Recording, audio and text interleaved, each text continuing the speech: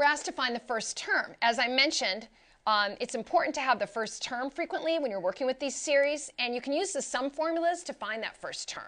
So I'm going to look at the information I have. I have the sum, I have the common ratio, and I have the number, but I don't have the last term. So I use the formula that involves the number of terms, not the last term.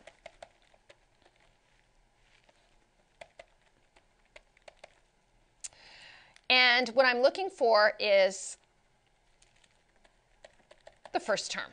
Therefore, the sum is 1020 equals the first term times 1 minus r is 2, and it's 2 raised to the 8th power divided by 1 minus 2. This is going to give me 1020 equals the first term times 1 minus. If you go through your powers of 2, you'll find that um,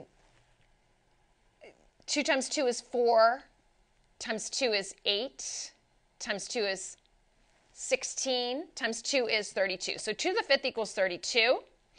Then we're going to get 2 to the 6th is 64. 2 to the 7th is 128. And then 2 to the 8th is 256. So that's 1 minus 256 divided by 1 minus 2 is negative 1. Therefore, 1020 equals a sub 1, 1 minus 256 is negative 255 divided by negative 1.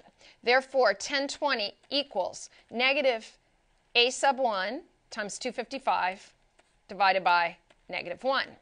Well, negative and a negative gives me positive, so that's 1020 equals a sub 1 times 255. I just take 1020 divide by 255. So I've divided both sides by 255, and I'm going to get that the first term actually equals 4. So I was asked to find the first term, and I found that using the sum formula, requiring the first term, the common ratio, and the number of terms. And I determined that the first term in this geometric series is actually 4. That finishes up this lesson on geometric series on educator.com. Thank you for visiting.